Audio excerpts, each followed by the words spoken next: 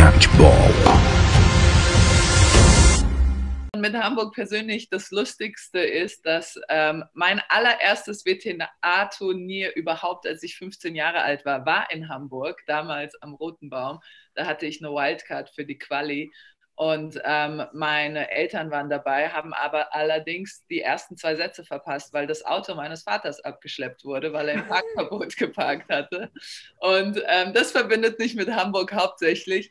Ähm, und ich habe tatsächlich ganz viele Freunde in Hamburg. Ich weiß nicht warum, aber ganz viele Darmstädter ziehen nach Hamburg, wenn sie einmal mit, der, mit dem Studium und Schule fertig sind. Deswegen ähm, glaube ich, dass da eine wenn ich noch als Spielerin aufschlage, eine große Fanbase auf mich warten wird, wenn es hoffentlich dann irgendwann wieder mit Publikum geht.